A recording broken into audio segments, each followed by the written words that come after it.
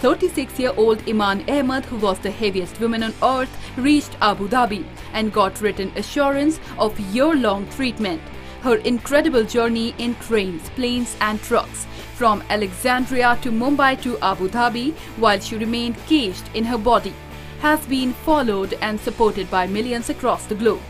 The arrival of someone who until three months ago was believed to be the heaviest woman in the world and still weighs a staggering 170 kg managed to stir up the quiet neighborhood of Al Najda streets as locals thronged the hospital gates with their cell phone cameras and two words on their lips Ahlan and La Taklaq.